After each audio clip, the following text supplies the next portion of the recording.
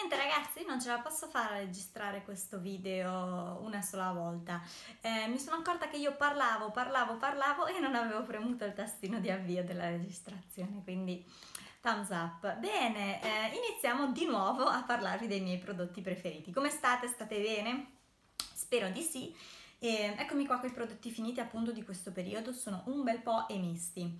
Tiriamoci subito via il make up e poi passiamo a tutto il resto. Quindi, make up, di cosa vi parlo? Tre fondotinta.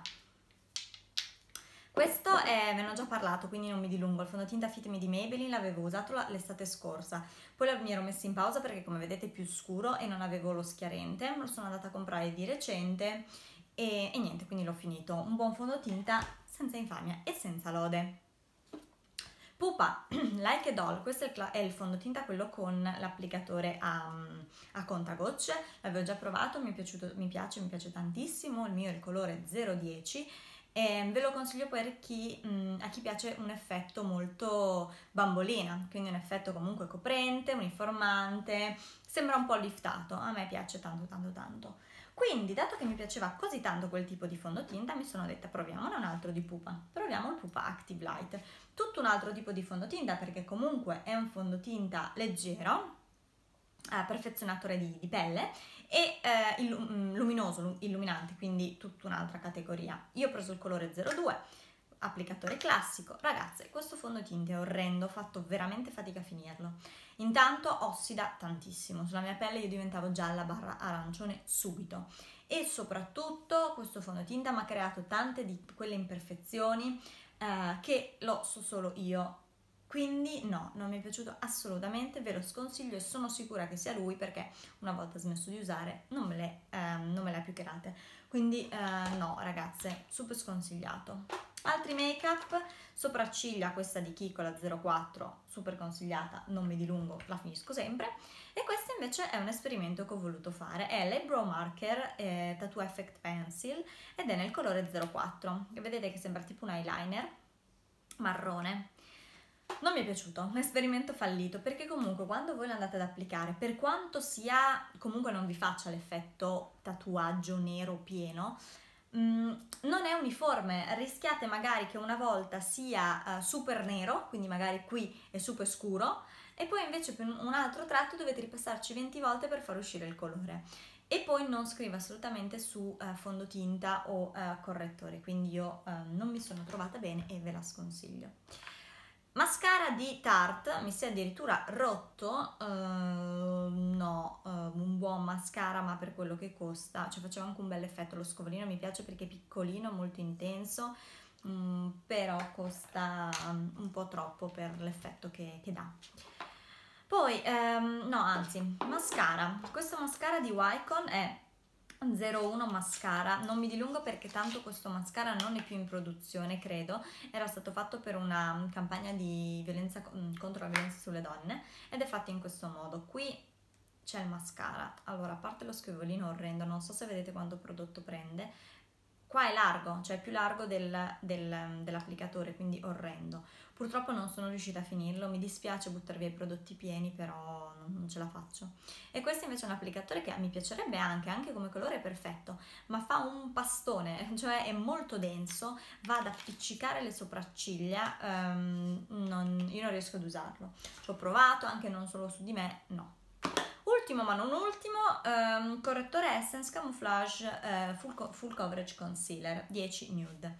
È un classico correttore con l'applicatore normalissimo, mi piace tantissimo. Peccato, peccato che sia tutto fuorché un Full Coverage Concealer. Questo è un correttore illuminante che non è full coverage e quindi ve lo consiglio se volete un qualcosa di illuminante, leggero, a me piace tantissimo, io l'ho ricomprato, però se volete qualcosa di full coverage no, assolutamente no.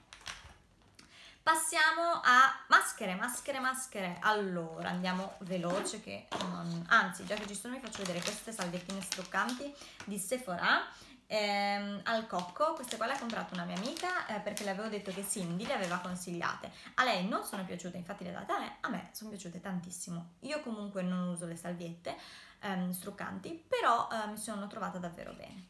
Poi, a Milano ha aperto il DM in zona non mi ricordo, quindi ho fatto un po' di scorta tra Balea, il verde e quant'altro. Questa mascherina peel off di Balea assolutamente no, troppo aggressiva quando tiravate via il peel off, sembrava di tirarvi via la pelle. E invece mm, 11 111 eh, 111 Skin mm, l'ho trovata nel, um, nel, calendario dell'avvento, una buona maschera, questa era quella all'oro e mi è piaciuta però niente di drammatico. Cosmoprof ho comprato. Questa maschera The Cream Shop all'argilla rossa, mi piace, eh, l'argilla rossa tra l'altro io la preferisco all'argilla classica perché la trovo un po' meno aggressiva. Sempre al DM ho provato questa maschera, sempre di balea nera, però in tessuto, quindi molto meno aggressiva, una buona maschera senza infamia e senza lode.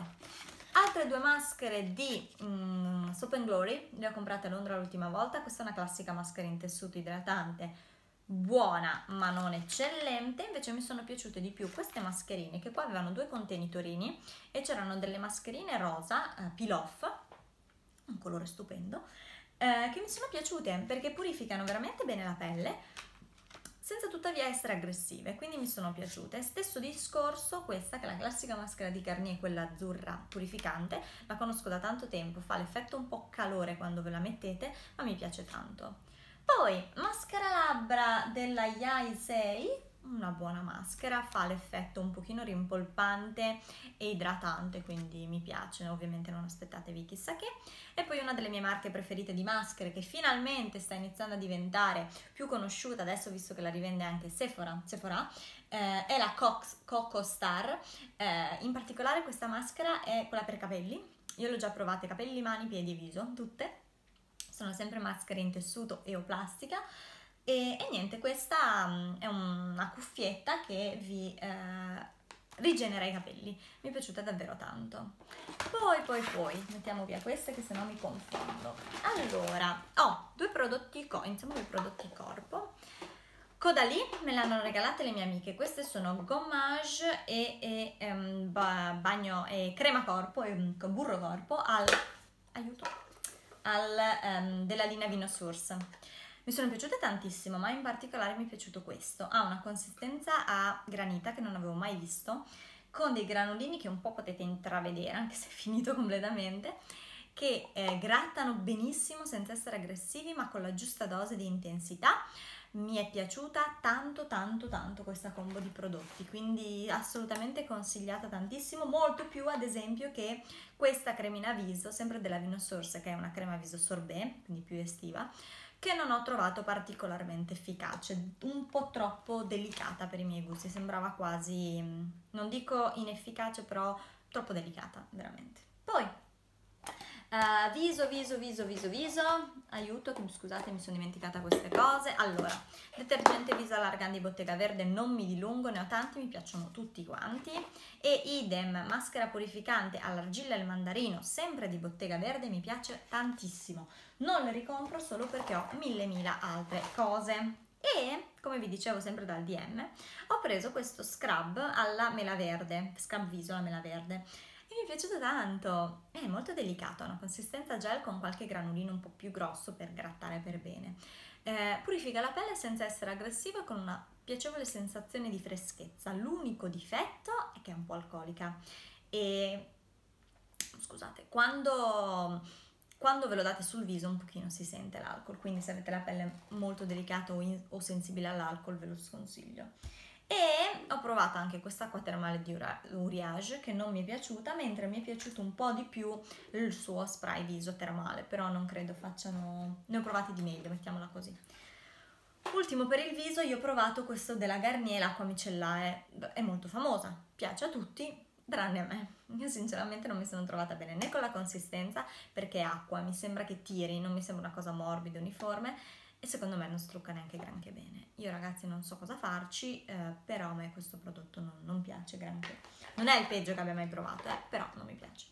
Poi, poi, poi corpo, ho, oh, mm, no questo non è corpo, ho due bagno schiuma, senza infamia, senza lode, tesori d'Oriente e bottega verde io, come vi dico, forse ve l'ho già detto, però io non ho delle grandi pretese sui bagnoschiuma, basta che lavino e che non secchino la pelle, per il resto io sono piuttosto felice.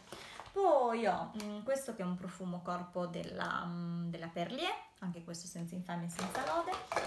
Poi questi sono prodotti per capelli, quindi ve li lascio per ultimi, questi, questi, questi, questo, crema corpo, crema corpo della Specchiasol al miele, mi è piaciuta incredibilmente, e da Specchiasol fa prodotti naturali, non, non so se certificati ICEA comunque, ah sì, guardate, certificato ICEA, quindi proprio 100%, al miele mi è piaciuto tantissimo, vi idrata veramente la pelle, ve la nutre in profondità, senza però lasciarvi appiccicose, quindi io ve lo, ve lo consiglio assolutamente da provarlo almeno. E poi ultimi due prodotti, questo vabbè per le unghie, classica pennina della Essence per correggere, e questo è un olio della EOO, è una marca eh, russa che io compro al Cosmoprof. Tanti prodotti non mi sono piaciuti, ma questi oli, sia riviso, eh, mi piacciono tantissimo. Infatti ne ho già provati due.